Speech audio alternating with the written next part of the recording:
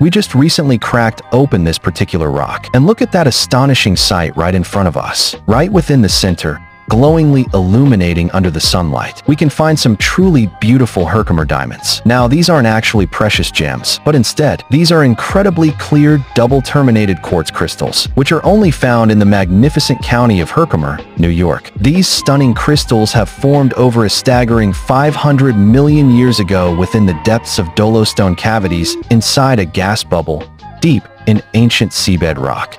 They are not as expensive as natural rough diamonds, but flawless quartz crystals, nature-made, double-pointed, and stunning are not worthless as they are used in different ways. Every single one of these pieces is a true tiny, geological marvel, masterfully faceted by nature herself. But these ones in particular can only be described as natural, unprocessed, and untouched. Imagine the exhilarating experience of discovering such a stunning gem